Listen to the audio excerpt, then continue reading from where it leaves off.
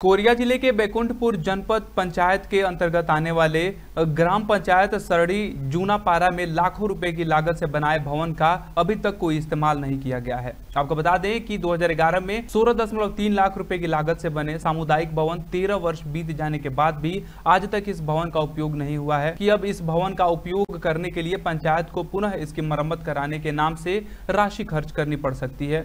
वही संबंध में जनपद सीओ ए पन्ना से पूछा गया तो उन्होंने कहा कि मीडिया के माध्यम से उनको जानकारी हो रही है कि तेरह साल पहले बने भवन का कोई इस्तेमाल नहीं हुआ है। इसके आगे उन्होंने कहा कि इस विषय में ग्राम सचिव से बात हुई है और समूह की महिलाओं को आर्थिक गतिविधि संचालित करने के लिए दिए जाने की बात की गई है। कोरिया से विशाल सिंह की रिपोर्ट।